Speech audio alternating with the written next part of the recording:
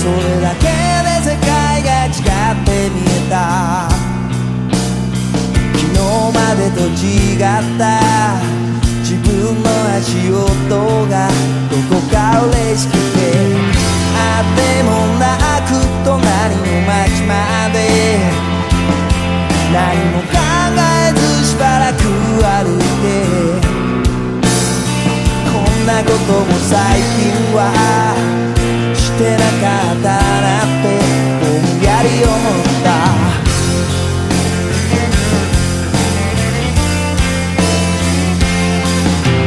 想された道を選んで歩いているだけ。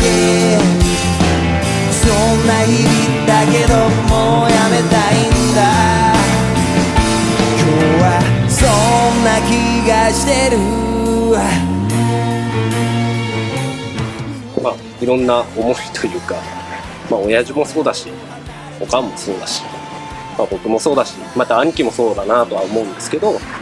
まあさすがに弁ってそういうなんかこう家族でやらさせてもらってたあのお店だったんでその家族と家族を取り巻く仲間たちが一緒に遊ばれるのがなんかこうあの殺人弁ナイト殺人ナイトっていうのを毎年やってたんで、まあ、それがまた今回できるってことでちょっと感慨深いと思います。はい、以上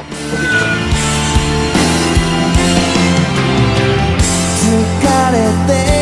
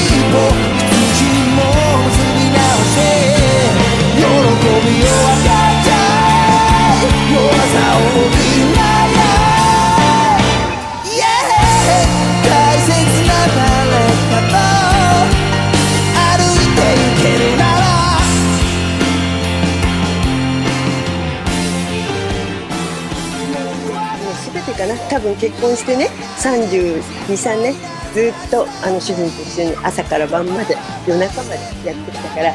多分私のあの結婚して彼と一緒に過ごしてきた半人生のね半分ぐらいかな全てかなきっと、うん、子育てしながら。はい。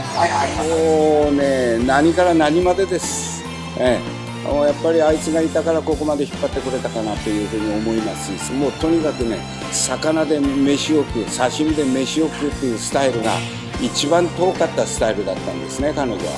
うん、あの私ね本当に何にも知らないであの嫁に行ったでしょ？まして港なんか全然わからないし港という場所がどこにあるのかもわからなかっ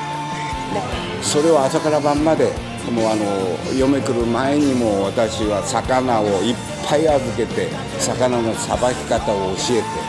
えー、それでも魚あの尽くしにしたっていうか。だから多分1から10まで彼に教えてもらっての今日までだったと思うのでだからそういう意味ではやっぱりすごく育ててもらえたっていうかね。